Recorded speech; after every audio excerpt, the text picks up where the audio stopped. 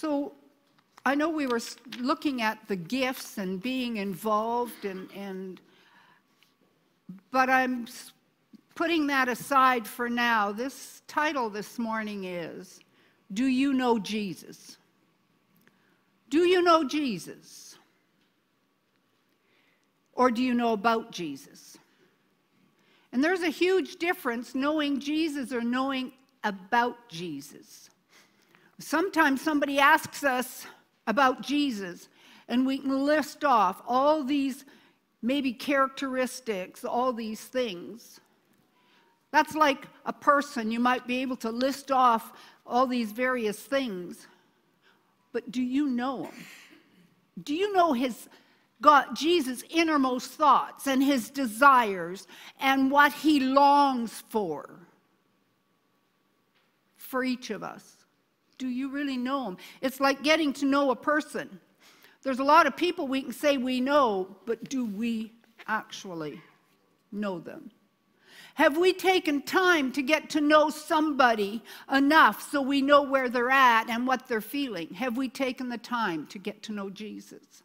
And what we believe or what we've been taught will color what we know and think about Jesus. If we've been taught wrong, Jesus had said, Beware of the yeast of the Pharisees. A little bit spoils the whole lump. And that yeast is, if you go back and check, it's wrong teaching. Beware of the teaching of the scribes and Pharisees. And we're to be aware of the teaching we may have received, doctrines and traditions that we've embraced that are not true. And it might be just one, and I know I have been in the past accused of saying everything's black or white and there's no gray. With God's word, that's the way it is. The minute you start treading gray, it's muddy waters, and you're starting to believe things that aren't quite right, and it will affect your relationship, what you know about Jesus. It will color our thinking. Because then, if it's something wrong that we're believing about Jesus, then our acting will be wrong. So let's look at Philippians 3 9 to 10. I find this such an amazing verse that, that Paul is saying this and be found in him, not having my own righteousness. And every, I can ask everybody here, and they'll say, No, it's not my righteousness. That's the righteousness. I'm the righteousness of God in Christ Jesus. And next thing you know, we start getting into works. What do I have to do? Which is from the law, Paul's saying, but that which is through faith in Christ, the righteousness which is from God by faith. And it's to start with, it's vital that we know we're new creatures in Christ. We have been made the righteousness of God in Christ, not because of anything we've done, but because of what Jesus has done. Next verse. And here's Paul saying, He's been with Jesus. He's written all these books of the Bible, all of this stuff, and he says that I may know him. Today is your heart cry to know him. And when you know him, the power of his resurrection flows right with it. And the fellowship of his sufferings being conformed to his death. Part of that suffering is to walk in love, but also part of it is to take the stuff of the flesh, take our thoughts, and realize that Jesus died for it. To realize that He died so I might be rich and put aside my own thinking, put those thoughts to death. Put what I think about Jesus and the Word to death. And that sometimes, when you're having to put your ideas aside or things that you've been trained in aside, it almost seems like death. Jesus said, Not my will, but the Father's will. And that's not easy to do. That's not easy to do. Because with wrong teaching, we have wrong believing. And so we're going to look at some of the areas I don't know how many we'll get to this morning, of wrong teaching that we've gotten that are keeping us in bondage and we're thinking wrong. And because of that, it's colored our knowledge of Jesus and knowing Him, having that intimate relationship with Jesus is difficult. It's not Jesus holding out. Remember, it's never Jesus holding out. So now let's look at 2 Peter, verse 1. Second Peter. Simon Peter, a bondservant and apostle of Jesus Christ, to those who obtained like precious faith. He's writing to believers. You have received the same faith as Jesus, as Simon Peter. With us by the righteousness of God and our Savior, Jesus Christ. Next verse. Grace and peace be multiplied to you in the knowledge of God and of Jesus our Lord. If you want grace and peace multiplied, you've got to know Jesus. You need knowledge, revelation knowledge of Jesus, not about him. But you need revelation of Jesus in order for grace and peace to be multiplied. You want, I've had people come and say, Will you pray for me? I need peace. Will you pray for me to have peace? And I go, No. Sometimes, you know, I've thought, I'll just pray for them and make them happy. Well, they might leave happy for a few minutes, but it's not going to work. You cannot pray for somebody to have peace. This is how you get more peace. And the peace is a fruit of the Spirit. It's on the inside of you, and we need to release what's on the inside of us through the knowledge of God and of Jesus our Lord. So, peace, your peace, the multiplication of grace and peace is linked to your knowledge of God and of Jesus. This is huge.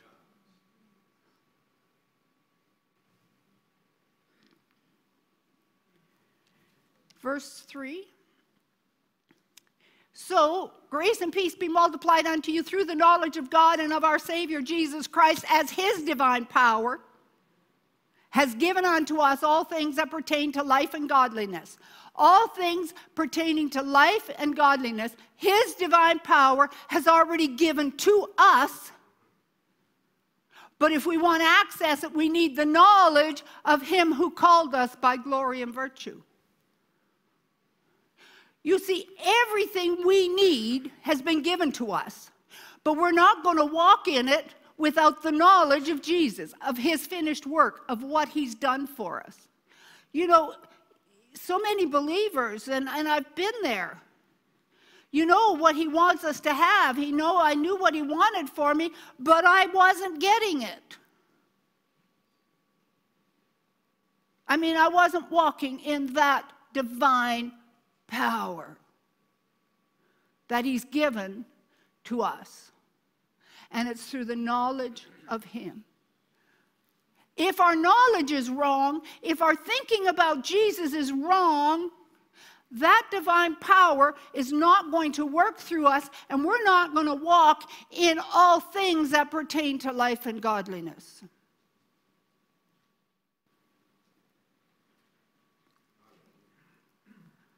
So we need to have a revelation, and, and, and it's probably on the website, the finished works of Jesus. We need a revelation of what we already have in Jesus. And so when we got born again, when you believe in your heart and confess with your mouth Jesus is Lord, we become the righteousness of God in Christ. We're a new creature. Our spirit man is born again. Our spirit man is completely made new. We have within us a brand new spirit. It was born again, not of corruptible seed, but incorruptible seed, the Word of God. And you have the entire Word of God in your spirit. Your spirit is exactly the same as Jesus' spirit, it's in your spirit. But when we got born again, our mind still had stinking thinking and our body still had its own desires. And when we say body, we're talking about the five physical senses. So, what we need to do is change the way we think, or we're not going to experience what we've been given, and that's through the knowledge of Jesus. So, we already have everything in our spirit, but it's to get it from our spirit flowing out. You see, we already have faith, it's a fruit of the Spirit.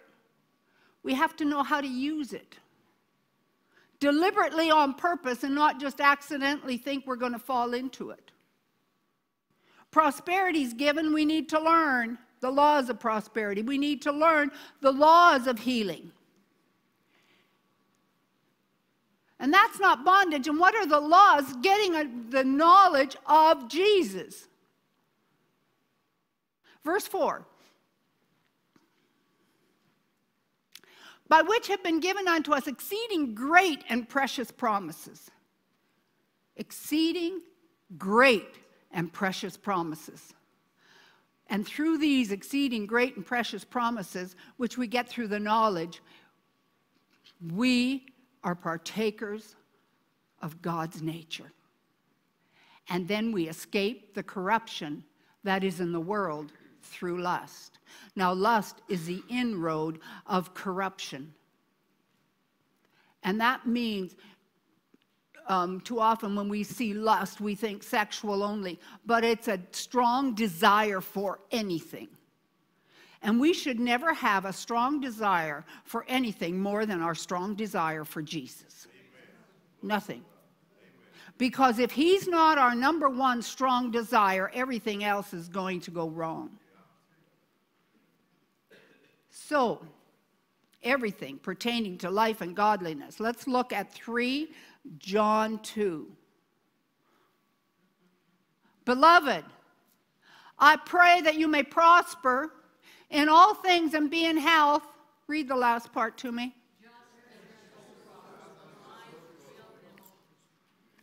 Is it automatic? Are you going to prosper in all things and be in health if your soul, your mind is not prosperous? But we kind of think, well, God's made me prosperous.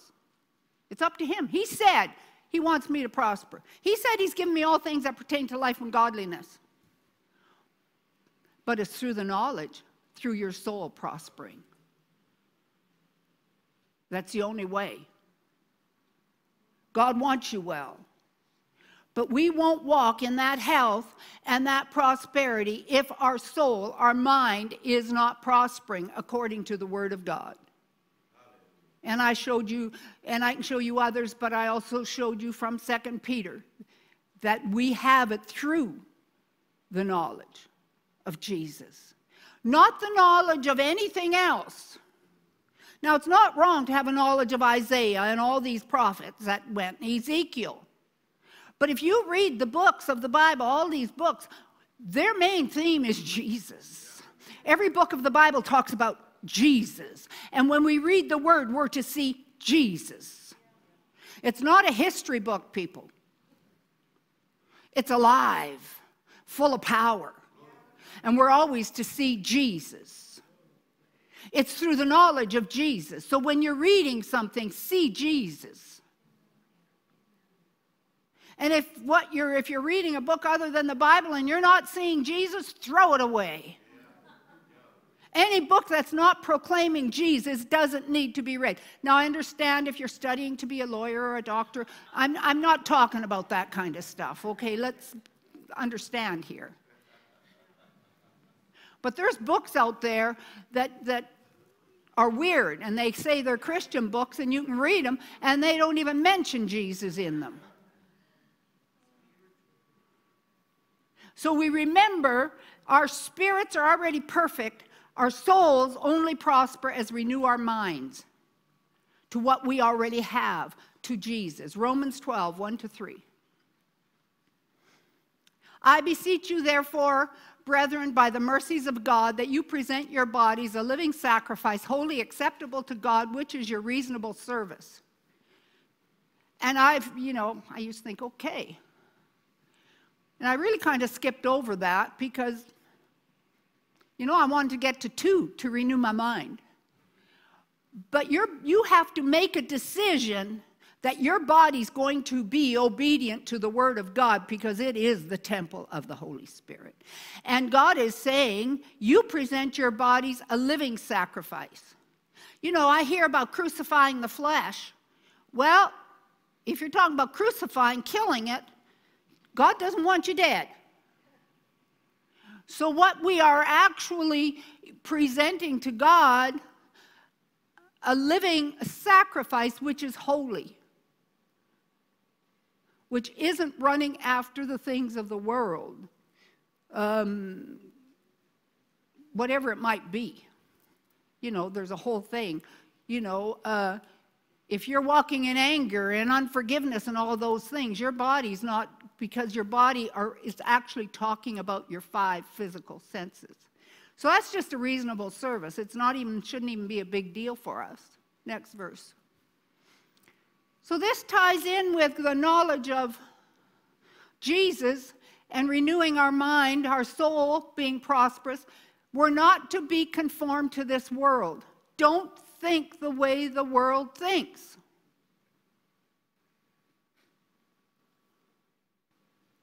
But be transformed, changed.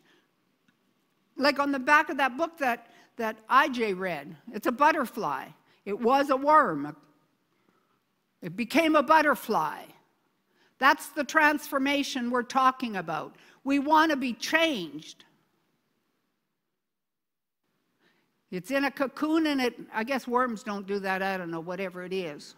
But it comes forth, this beautiful butterfly. We can be that way. We'll come forth walking with all the divine attributes of God as we renew our mind and don't do it the world's way, think the way the world does. And when you do that, you can prove what is that good and acceptable and perfect will of God.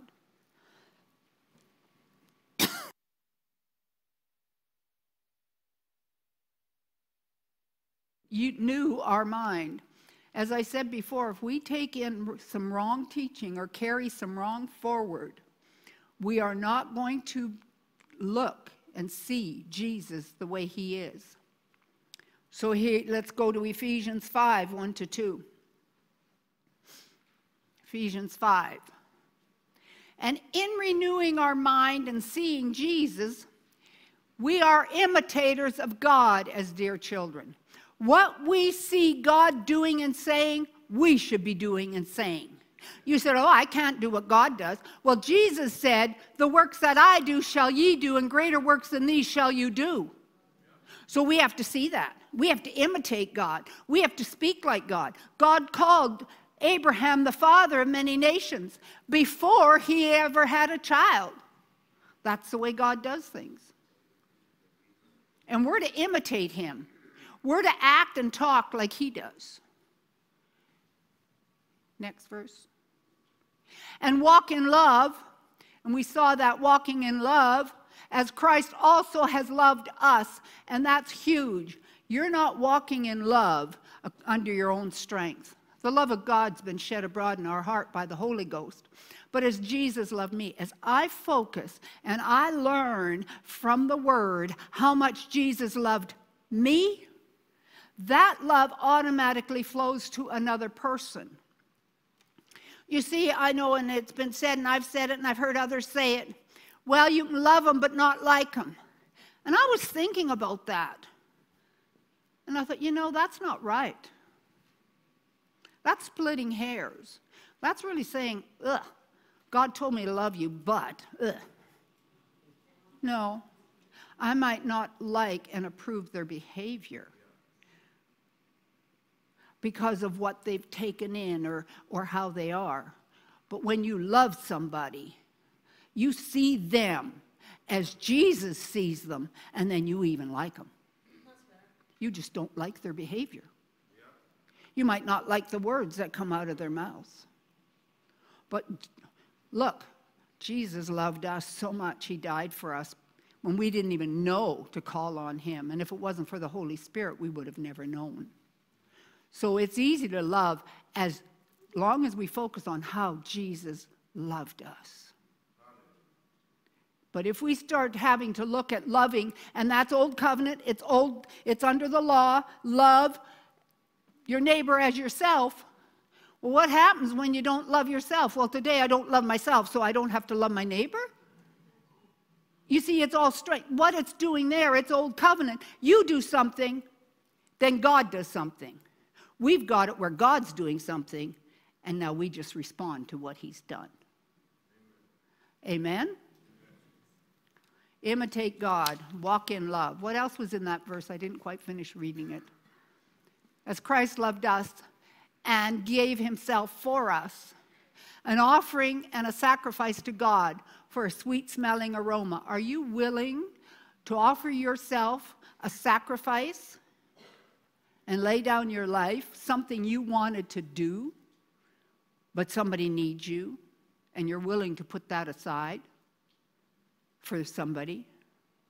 To change your plans because somebody needs you? Or the church has something going on, so you rearrange your schedule? As Christ loved us. Hallelujah. So, one teaching that I believe has, can color how we think about God. And uh, you know what, Ashlyn, I'm going to get back to uh, that scripture, John, but I want to skip down to Genesis chapter 1 first. Just going to change that order. The title of, of this little thing that we have, that teaching is wrong, is God is in control. God is in control. And because we believers have said that, Christians have said that, the world looks at it and thinks if God's in control, what about the child sex trade? What about all this starvation? What about all this ugliness? And then they even, people, even Christians say, well, God sent that hurricane just to judge those people. Because God's in control. And, and some of you that have been with us for a long time might say, Pastor Arlene, you've gone over all this stuff before. That's all right. Peter said, I put you in remembrance again. I can put you in remembrance again. Amen. Because what we think about this will really determine if we know Jesus, if we have that intimate relationship with Jesus. So let's go to Genesis chapter 1. We're going to see who's in control. Then God said, Let us make man in our image according to our likeness. Let them, let who? have dominion over the fish of the sea, over the birds of the air, and over the cattle, and over all the earth, and over every creeping thing that creeps on the earth. Notice people aren't in there. But God said they will have dominion. Who's got dominion? Next verse. So God created man in his own image in his own likeness. God created him male and female. He created them. There are two races, male and female. That's it. You're either a male or you're a female. I don't care what the world tells you, but you're either a male or a female. That's it. God only made two male and female. Stop the confusion. Get back to what the word says. The way you were born is what you are a male or a female. Amen. That's it. And the body of Christ has to smarten up and quit going the way of the world and making excuses and trying saying it's okay. We are to be an example in this earth today, a place where people can go and be made free. And we're not going to be conformed to the way the world thinks. You, Amen? Amen? We'll see if this one stays up. We did have one message taken down, but that's all right. The Word of God is not bound.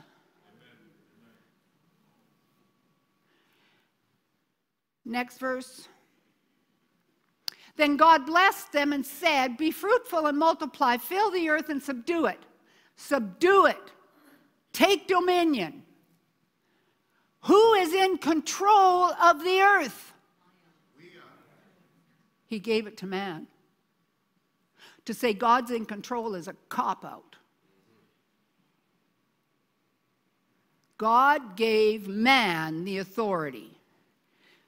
Man bowed his knee and gave that authority to Satan. But glory to God, let's read Matthew 28. Because in Corinthians it says that Satan is God of this world system. And Jesus came and spoke to them, saying, All authority has been given to me in heaven and on earth. So Jesus went, defeated Satan, got the authority back. Next verse. Go, you, go, go. He's saying, I've got the authority, now I'm commissioning you. You go in my authority. Make disciples of all nations, baptizing them in the name of the Father and the Son and the Holy Spirit. Next verse. Teaching them to observe all things that I have commanded you. Go back and find out what Jesus commanded. He did not command them to obey the law of Moses. He said, I came to fulfill the law. He kept every part of it for us, and we're in Him. So God sees me in Him, so it's as if I've kept it all. And lo, I am with you always. He said, I'll never leave you nor forsake you, even to the end of the age. He said, You go. I got that authority back. You know, come on, Jesus didn't need to get the authority back for himself. He had all the authority necessary in heaven. He got it back for us, back to the Garden of Eden authority. Let's look at, and then, you know, you can go into Mark 16, where Jesus said, Lay hands on the sick and they'll recover, exercising your authority. Speak with new tongues, cast out demons, no deadly thing will harm you. That is vital today that we realize when we've laid our body down it is protected from any deadly thing, viruses, etc.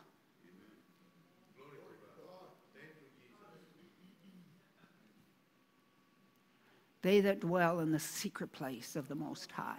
I've heard people, here's another teaching, that you have to do all these various things. It's not even, anyway, do these various things to get into the secret place. Wrong. Jesus. I'm in Him. I'm in the secret place of the Most High. Hallelujah. Glory to God. Glory to God.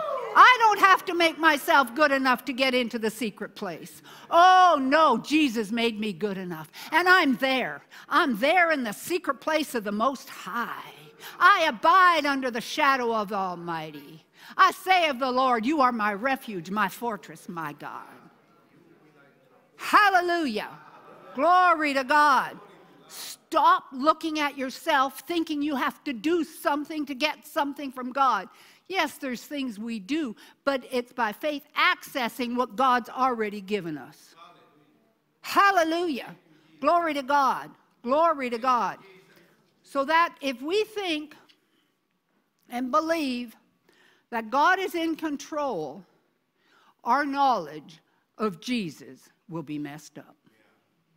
It will be, our knowledge of Him will be all painted with He's in control, and ah, I'm, I'm just such a spiritual person, and I'm so religious, and I just believe God's in control, and I'm just waiting, waiting, waiting, waiting for God to just do something. And then I make excuses. Oh, he's so smart, so he killed 100,000 people with this. Oh, but he knows what he's doing because he's in control. Nonsense. God's not a murderer. And he's not killing people. He said he would that none should perish. And he's not going to send something that's going to wipe out a whole bunch of people. So if we think God's in control, it is going to skew our thinking and realizing of who Jesus is. And we won't enter into those divine promises. We won't understand them because God's in control, and if He really wanted me to have it, He would do something. Just like I said this morning during the offering. Well, that's an idea from God, but I'm just going to wait and see what God's going to do about it. If it really is God, I'm just not going to push it. Well, just believe God and take a step and see what He has to say. Put your hand to something, it'll be blessed. Hallelujah. So now, with that, God's in control because people think that, then they think He's judging the earth. Judging, judging. Oh, God's a God of judgment. Well, let's go to John 12, 31 to 32. John 12, 31 to 32. Hallelujah.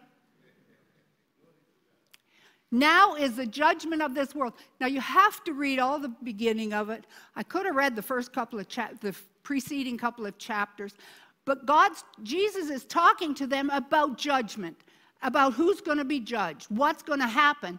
And now he says, the judgment of this world.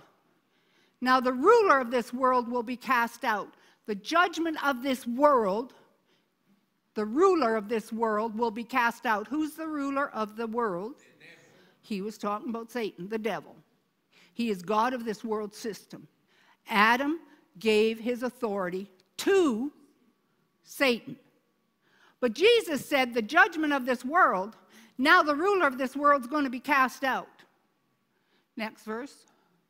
And if I be lifted up from the earth, now they've in this is New King James, but in the original, it doesn't, and in the Old King James, it has it in italics where I will draw all people. It's not saying that. If you read it, and I understand, Holy Spirit draws, understand. But this is not what he's saying, because if he's drawing all people, all people should be saved. But he's saying he will draw all judgment. He's talking about judgment. So he's going to draw all judgment to himself. If he's lifted up, was he lifted up? Where did your and my judgment go? On Jesus. Who paid the price for my judgment? Jesus. Is God going to judge me if He already judged Jesus for me? Think about it. Doesn't make sense. Isaiah 54 8. With a little wrath, I hid my face from you and this is coming after, remember, this is verse after chapter 53, which is talking about Jesus paying the price, going to the cross, becoming sick, sin, etc. I hid my face from you for a moment. Who did he hide his face from? Jesus. Jesus. But with everlasting kindness I will have mercy on you, says the Lord, your Redeemer. He's our Redeemer. He's our Redeemer. Next verse. For this is like the waters of Noah to me. For as I have sworn that the waters of Noah would no longer cover the earth, so have I sworn that I would not be angry. No judgment with you nor rebuke you. Now, here's what you've got to understand. When you're reading the word, you see Jesus, but you also have to see covenant. He had a covenant with Noah. Did Noah have to do anything to get the covenant or the promise. He just followed God's instructions and built an ark. He didn't build the ark to get into covenant. He was in covenant. That's an unconditional covenant, which is what we have with Jesus. I don't have to do anything. The Holy Spirit draws me. The Holy Spirit gives me revelation knowledge of Jesus. I believe in my heart. I confess with my mouth. Noah built the ark. It is an unconditional covenant. There are conditional covenants which, when he spoke to the Israelites, you do this, and then I'll do that. We don't have that. And it's as the waters of Noah covered the earth, so it's the same type of covenant. When it's conditional, both parties have to do something and agree.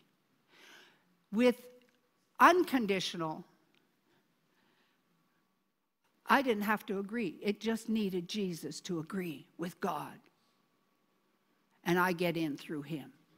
We have to remember the covenant isn't between me and God, it's between God and Jesus. And I get in. We're talking about judgment. Was Jesus judged for the sins of the world? It says, I was crucified with Christ, I was raised with Christ. When were my sins judged? When I was crucified with him. You see, I might never accept it, I might never make Jesus Lord of my life, but my sins are not going to send me to hell. One thing, if I make a choice to not accept Jesus Christ as my Lord and Savior, I have made the choice to go to hell. But my, the judgment, the price for my sin, everybody's sin, was laid on Jesus. God's already judged it. God has already judged all sin. There's no stipulations that I have to do to keep that covenant. Whereas with the Israelites in the Old Testament covenant, God said, if you do this, then I'll do this. You don't do that, you're done, you're toast. But when you look at it and read it, God's mercy and grace was so overflowing, they would come back and everything was okay. But we are in an unconditional covenant because we've come through Jesus. And everything you've ever done in the past, ever will do in the future, the judgment for that sin has been put on Jesus and has been paid in full. Colossians says, The handwriting that was against me was nailed to the cross. Every sin I ever committed or would commit was nailed to the cross. And it was the blood of Jesus just flowed over that, and it was a blank page. Blank page. I'm not being judged. God's not judging the world. He will. He will. When Adam's lease runs out, after the rapture, and there will be the great white throne judgment, there will be judgment. But not now. Did we look at 9, verse 9? Did we look at 10? Where do we go with that? Let's, 9.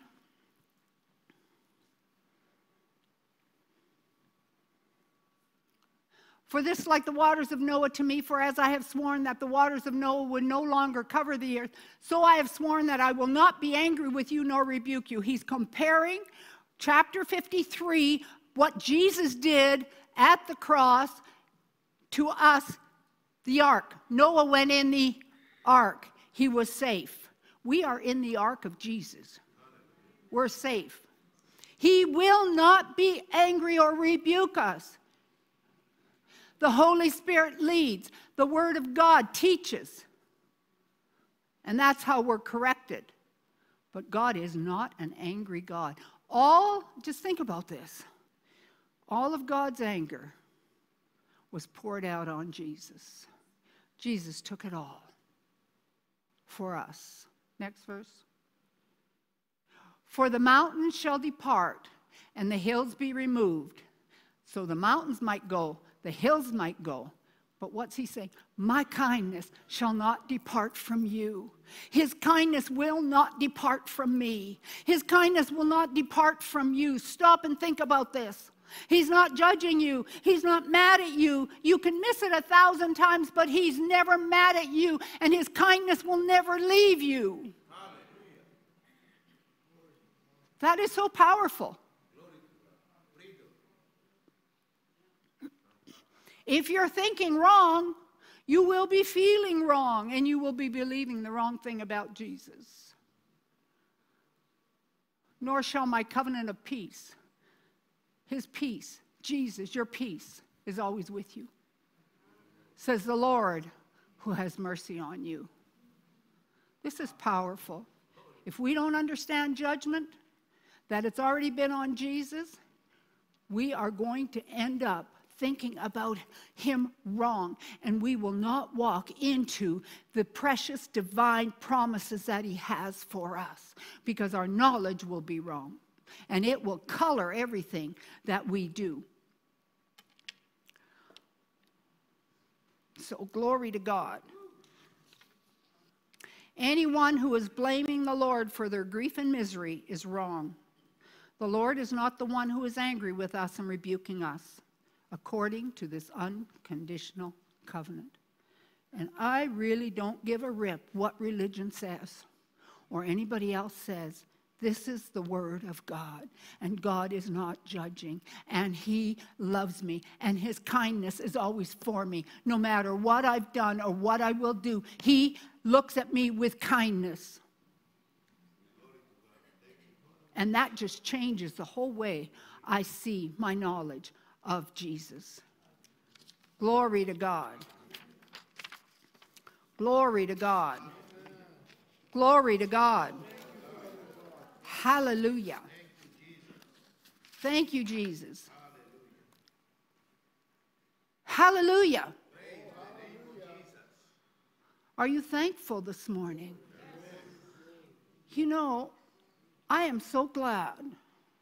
I am so thankful that my relationship with my Heavenly Father isn't based on my works.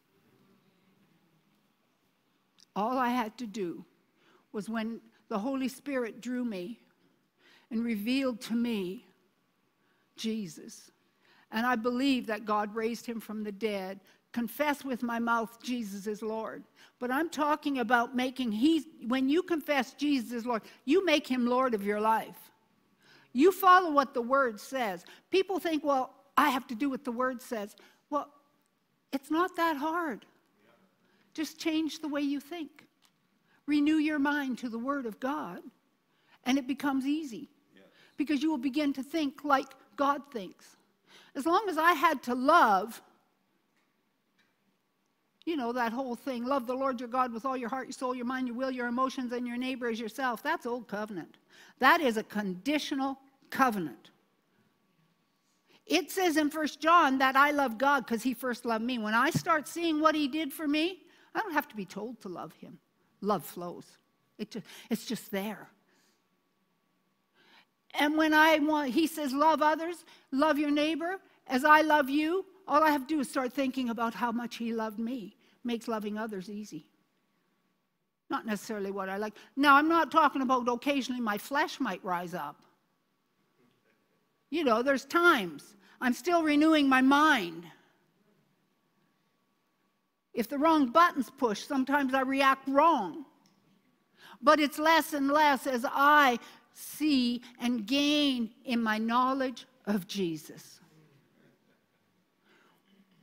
I'm no longer looking at him as a judgmental person up there. And when I realize that that judgment was put on Jesus, how can you help but be grateful and thankful? Suddenly, you're no longer looking at yourself. There's another book we might do as a Bible study one day Selfishness, the source of all grief. That'll jerk some slack out of you. It did me. Sometimes I get these books, I read them, and I think, Lord, I really would have rather not. Because now you're responsible for it. But we have to learn to get our eyes on Jesus and get our eyes off ourselves. And the more we have our eyes on ourselves, the more miserable, depressed we will be. And it's when I think, you know, when you realize Jesus paid the price for you and for me, he didn't even know if we would respond. He did it to please his Father. I only do those things that please my Father. So if I have that attitude, I'm not going to then, whether it's my husband, my children, a friend, if I truly love you, I am doing it not to get rewarded by you. I'm doing it to help your life be better. So you will know how much Jesus loves you. That's it, the word it says that we're the mirror that people see of Jesus. We're the Jesus they see. And in a body of Christ, it's time that they see the Jesus in one another. And the body of Christ should be walking in this peace. And if we can't get along here together, it's going to be a mess out there. But everything we do should be so people know how much God loves them, how much Jesus did for them. Not for me to get something from you, not to impress you, not to make you feel good because, oh, Pastor Arlene's so marvelous, she did this. No, it's so you know how much Jesus loves you and what he did for you. That's what it's all about. Then we can walk in peace and victory as we get to know him more. Hallelujah. Please stand.